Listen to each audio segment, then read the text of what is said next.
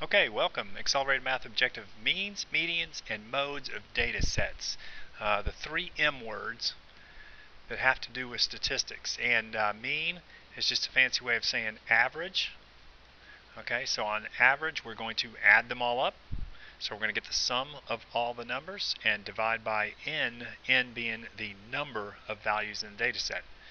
Median, when driving down the road, what's in the middle? It's the median. The median is the value that's in the middle. Mode, I think of the word most, uh, and that's what mode is. It's the one that occurs the most. So pretty reasonably easy stuff. All right, um, to find the median, you kind of need to get these things in order, so I'm just going to rearrange them. 6, 8, 9, and let's see, 14, sorry, 14, 16, looks like 19, 22, and a bunch of 26s. 1, 2, 3, 4 26s. By the way, if I've got four 26s, that should ring a bell on mode. So that's my mode. Okay. Then to find the middle one, I'm basically counting these off. I got uh, 1, 2, 3, 4, 5, 6, 7, 8, 9, 10, 11 of them. So my middle value, I've, if I pick 6, you'll notice there are 5 numbers on this side and 5 numbers on that side. So that's my median. And then the mean or average, I need to add them all up and divide by the number of values.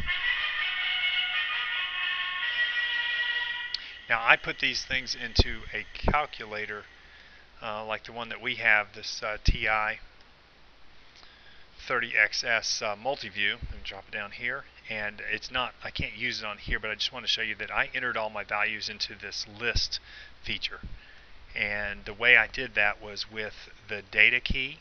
You hit data, and then you can uh, put the values in a list. And so I put all those values in a list. When I was done, I hit second and data, which is really the stat function, and it brought up a list of things that I can choose from, and number two on the list in the calculator, number two says x bar equals, and it says 18.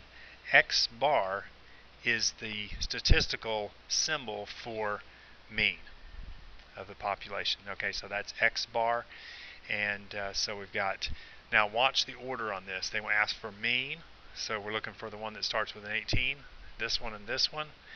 Then they went to median, and median we said was 19, so it's got to be this one over here, and I verified the 26 being the mode, so it's D. Okay, if you do not have one of these calculators, then you're stuck. You have to just take a calculator, add them all up.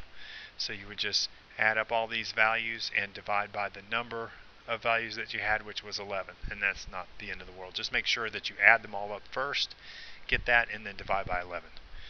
All right. Number of patients treated in a dental office each day was recorded for 10 days. Find the mean, the median, and the mode for this data. So they're putting it into a word problem, but it's basically 10 days. So we've got 10 values, and we're going to do the same thing. Get them in order, find the mode. Um, some of these things you might be able to pick out, hey, look, the mode is 25, and the mode was the last one in the list, so it's not this one. It could be this one, it could be this one, it could be this one. Now let's go to the next thing that's the easiest to find. Uh, I guess it's getting them in order. Okay, did they put them in order? No. Okay, so 6, 15, 18, 21, 22, 24, 325s, and a 29. Alright, and there were 10 values. So 1, 2, 3, 4, 5, 6, 7, 8, 9, 10. Well, you know what? There's, if you look at the middle, there's no number there, so you have to take the two numbers that are in the middle and get an average of those, 22 plus 24 divided by 2. Most of us can look at that and kind of go, hey, the average of those is going to be 23. But if you need to do it mathematically, that's how you do it. So um, we're looking at the median right here of 23, so the average must be 21. Uh, but if I didn't know that, I would add all those up and divide by 10. All right, and last one. Put it into a word problem, but let's pick out what they're asking for. This guy was in charge of collecting contributions for the food bank. Ooh, nice guy. Good deed. Received contributions of $10, $10, 80, 50, and 90. Alright, so we're only dealing with a few numbers. The next potential contributor wanted to give an amount in line with the other con contributions. So he asked, what's an acceptable amount to give? If Bob uses the median as the answer to the question, what amount will he tell the potential contributor? So median, of course, is, as we talked about the road, it's the number that's right down the middle. So we're just going to arrange these in order, 10, 10, 50, 80, whoops, 80 and 90. And we're going to pick the one in the middle, so it's $50. Woo! Well, that was tough. All right, have fun, and hopefully you've got one of those calculators and using that list feature. Uh, that's what we're going to be doing on the test, but if you don't, you have to kind of do it a little bit harder way. See ya.